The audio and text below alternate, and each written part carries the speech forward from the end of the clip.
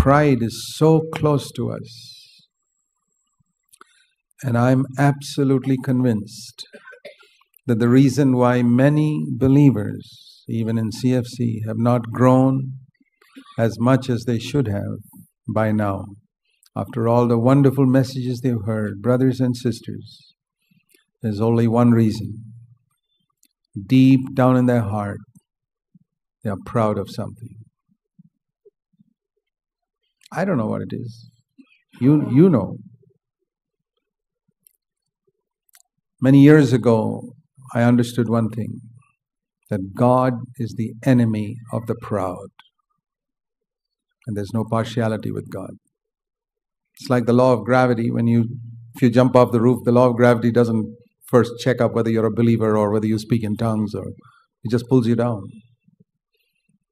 God resists the proud. It doesn't matter who you are. You can be the most useful person on earth. God will resist you. Pride it is what makes us disobey God's commandments.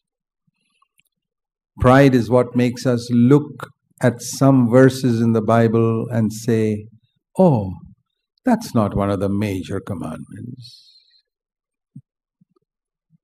Boy, you must be a very important person to dissect God's word and decide which are things that you should take seriously and which are things you don't have to take seriously. Do you see the pride there? Almighty God has given His word, and you decide what is important and what is not important? I say the smallest little commandment, which may be written in half a verse, I want to obey it.